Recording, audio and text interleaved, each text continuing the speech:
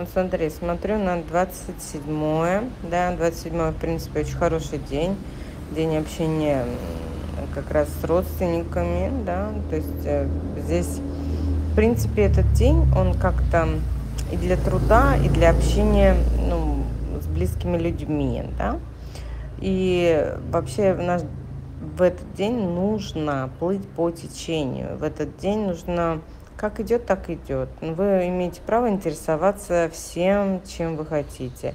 Но все, что вы сделаете в этот день, будет правильно в любом случае. Да? Это, ну, в принципе, такой хороший, абсолютный, наполненный родовой энергией день. И поэтому все ваши негативные мысли, да, то есть, которые у вас есть в голове, да, если вы плохо думаете, все это тоже пойдет в реализацию в конечном итоге. Поэтому в этот день желательно да, обратить внимание на свои сны, а, обратить внимание ну, на то, что вам приснилось, либо на какие-то свои чувства и ощущения.